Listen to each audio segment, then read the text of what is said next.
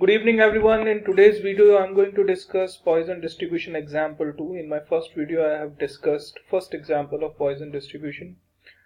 So here we go. Here is the example and uh, I'm just going to bring it up. It is explaining that proof reading of 200 pages of a 550 page book is done.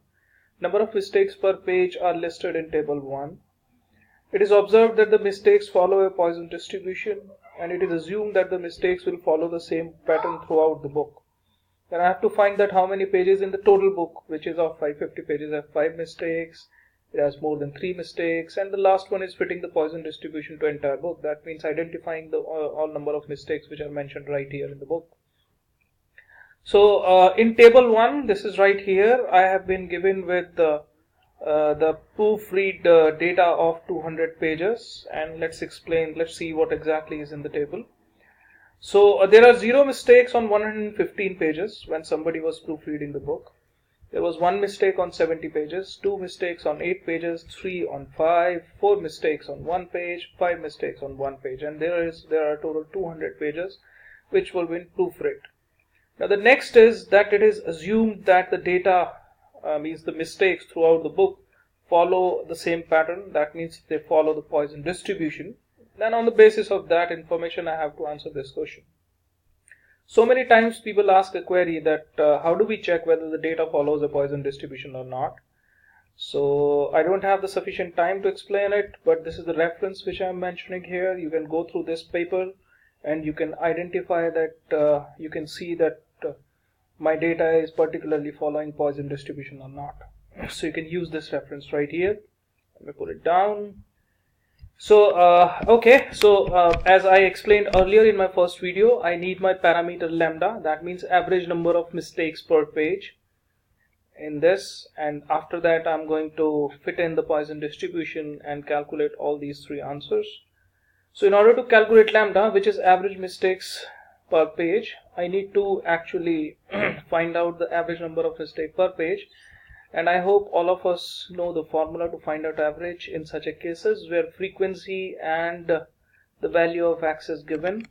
I can still rewrite the formula for all of you. So I already know that uh, x bar is sum of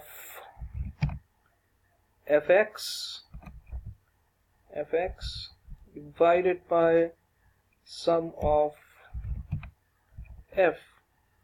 So that that's exactly uh, you know is the formula for uh, uh, if you could uh, see that this is the formula for uh, calculating mean that means I need sum fx divided by sum f. And in this case my this x bar would actually be equal to what exactly this particular x bar would be equal to it will be equal to lambda. That means my parameter of Poisson probability distribution. So I need sum of fx. So I'll use a clean excel function which is a multiplication function. So first I need fx f times x and that's it. So it gives me fx. I'm going to pull it down. This gives me total 110 and I've already set up the formula here. Let me delete it. So I'll redo the formula and so I have my sum fx in this cell and my sum f here in this particular cell. So in order to calculate lambda I'm going to go to my sum fx divided by sum f. And that is going to give me the average number of mistakes per page. That means the lambda value mean value. Now I'm going to fit in the Poisson distribution here.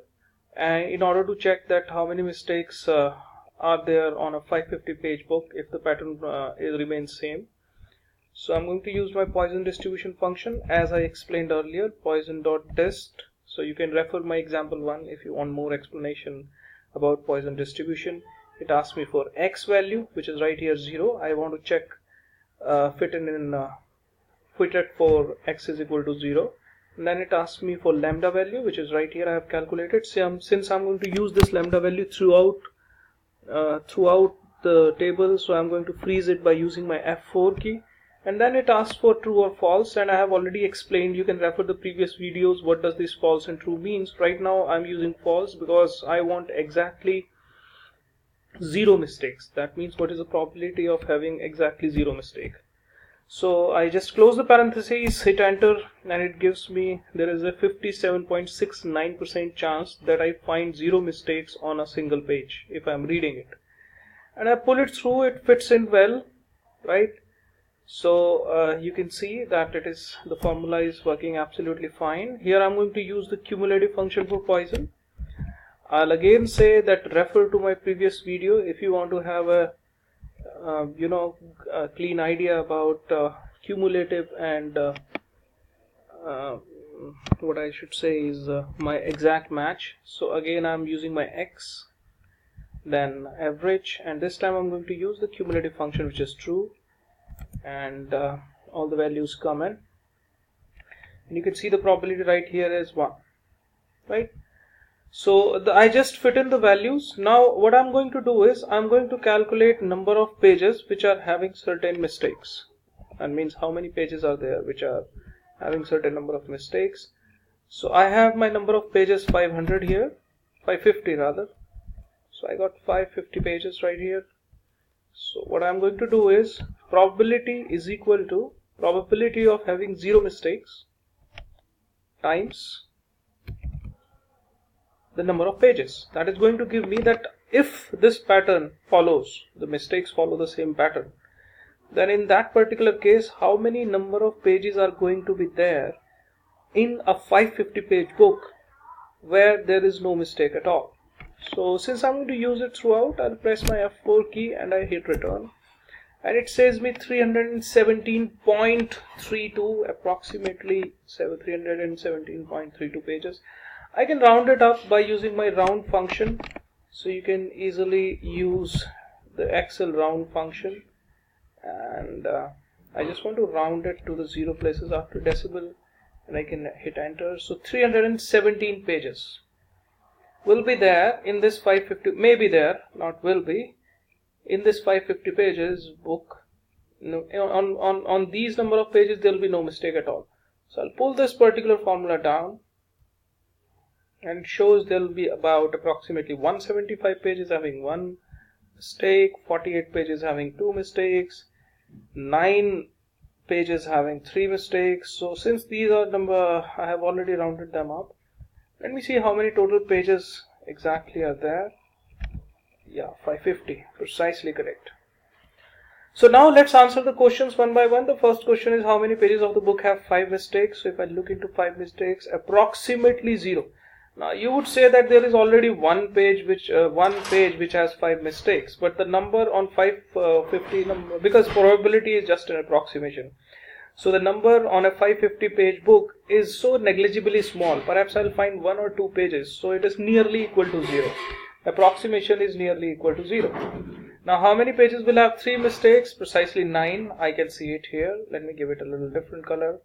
Nine mistakes, five mistakes, no it is more than three mistakes so more than three mistakes mm, that's important so let's see how many pages have more than three mistakes so I'll use the cumulative function here so more than three mistakes means three that means four mistakes and five mistakes so if I look into this particular function right here that means this particular cell 0.9975 is the probability of getting three or less mistakes so what is the probability? So I'm going to uh, calculate the value in this particular cell which says what is the probability of having more than three mistakes? The probability of having more than three mistakes would be 1 minus probability of three or less mistakes.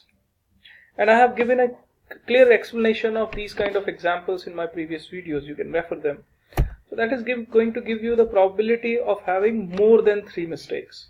Now if I multiply the same probability by number 550 right here yes so there'll be you know very few pages perhaps around two pages where I'll be find be finding more than three mistakes so this is the answer to question number B. If I round it up again let me round it. And I'll round it to zero. So around one page approximately one page I'll be able to find on which I'll be uh, you know there'll be uh, I, what I would say is that more than three mistakes are there. Approximately one page would be there. Now I'm going to uh, recheck the things a little bit. Like if you see that uh, the last part is fit the Poisson distribution to entire book and this is the uh, Poisson distribution fit that means pro probability that x uh, number of pages with zero mistakes one mistake two mistake three mistakes and so on. Similarly here also like if you see this these are the probabilities uh, of uh, having 0 1 2 3 4 or 5 mistakes now uh, you can cross check the particular problem. If I change the number of pages to 200 here look at this. If I change the number of pages here 200 then it's coming approximately 198 that means that means around 200 pages in total. So this is a little cross check like 115 here 115 here 63 oops this went wrong. Because perhaps I rounded the function up so if you remove the round it will come approximately equal 17300 so uh, what I am saying is what I what do I mean by is that for if I am using 200 pages right here it is also giving me that in total nearly uh, the values are approximately similar. So uh, that's that's exactly how I conclude the Poisson distribution here. And uh, that's it. Thank you very much